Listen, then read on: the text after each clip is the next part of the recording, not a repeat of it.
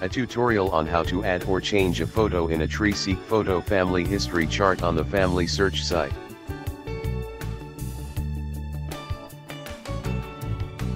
First, in familysearch.org, bring up the person that you would like to add a photo, or change the existing photo.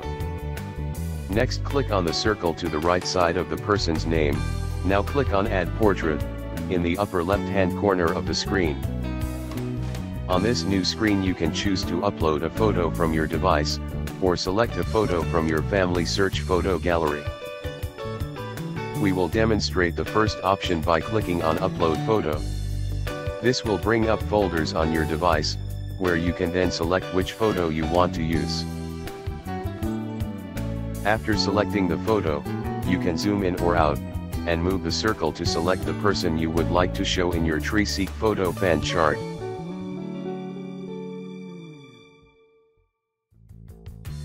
Once you are pleased with your selection, click on the Save as Portrait, in the lower left hand corner of the screen.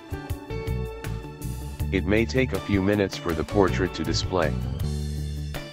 May you enjoy creating your family's photo fan chart and have a sensational time sharing this with your family and friends.